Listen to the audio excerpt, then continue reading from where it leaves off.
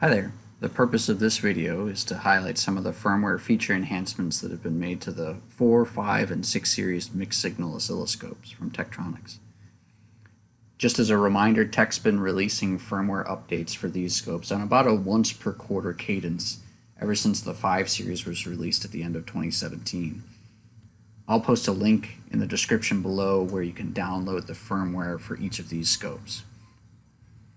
So what we're showing you here is firmware updates for the October release of these scopes.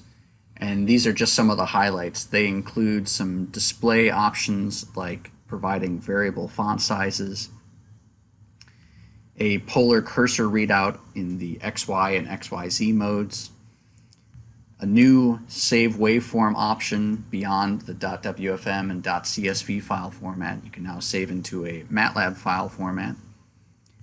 And a new 8B, 10B, and NRZ decode and search options that can be purchased. Okay, so let's take a live example now on my MSO64 6 series scope. And I want to capture uh, an example here uh, using one of the features we didn't talk about on the last slide, which is our new waveform mask testing capabilities.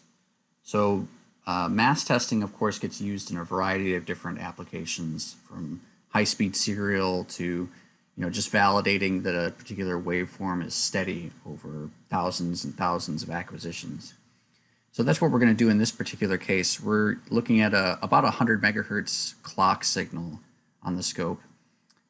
And uh, you can see the, the, especially the rising and falling edges of this signal are dithering about. Um, and that's primarily because of the uh, spread spectrum qualities of this particular clock. So you might see this sort of clock in uh, the power supply uh, in order to reduce the EMI emissions of that particular power supply.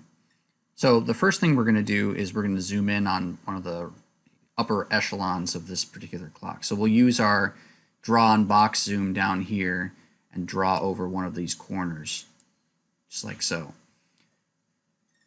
So now if I go back to that draw on box button and double click on it, you'll see that it brings up this menu that allows me to select whether I want to zoom on a specific area that I drew, uh, like I just showed, a, apply a visual trigger, uh, which we've highlighted in other videos, or add a mask testing segment.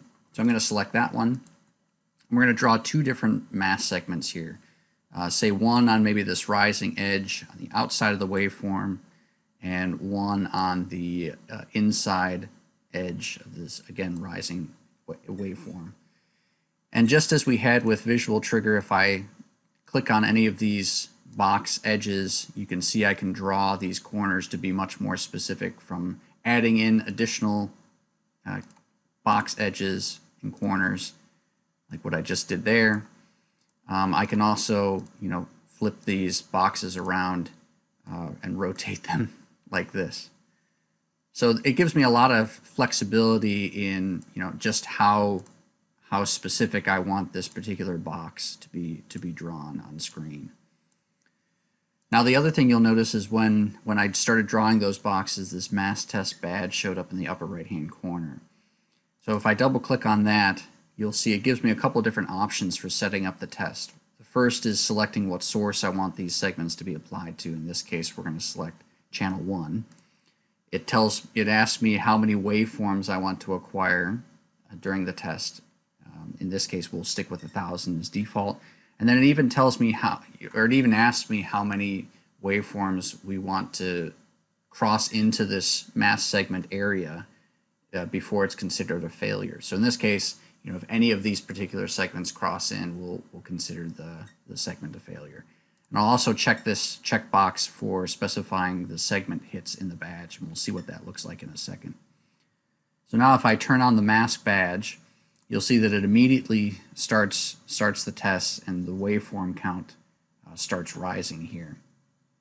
You're seeing that waveforms passing through this segment that are considered failures are sort of kept in kind of like an infinite persistence sort of trace mode.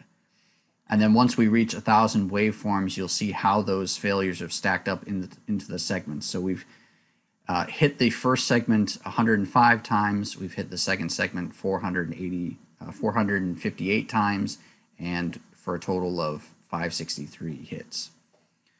Now, the other thing that we can do with this is go back in and click on this Act on Event button. So this is again another feature that we've added um, with the mask testing capabilities, and it sort of breaks breaks further open the capabilities of our of our save on capabilities with this scope. So now, you know, whenever a particular failure is highlighted, I can I can select whether I want to save a screen capture by checking this button, uh, by clicking this button here, mask test failure on screen capture. I can ask it to save a waveform for me, or I can say I want you to stop, you know, acquiring new acquisitions.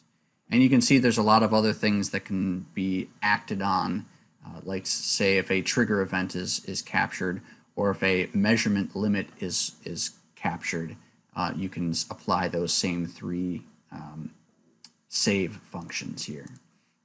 And then the bottom screen shows where uh, exactly I want to save and at what file format I want to save screen capture, so on and so forth.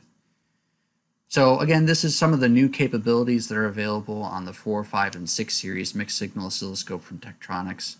If you'd like more uh, information on this particular uh, firmware update, please contact your local sales representative from Tektronix. Thank you.